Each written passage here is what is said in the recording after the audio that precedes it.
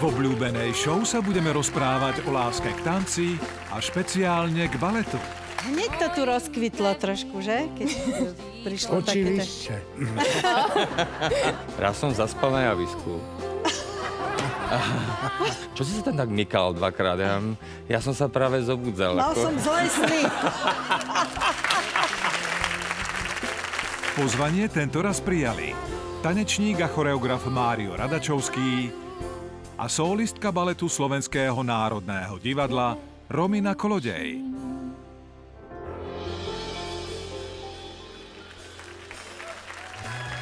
Zlaté časy. V premiére vo štvrtok večer na jednotke.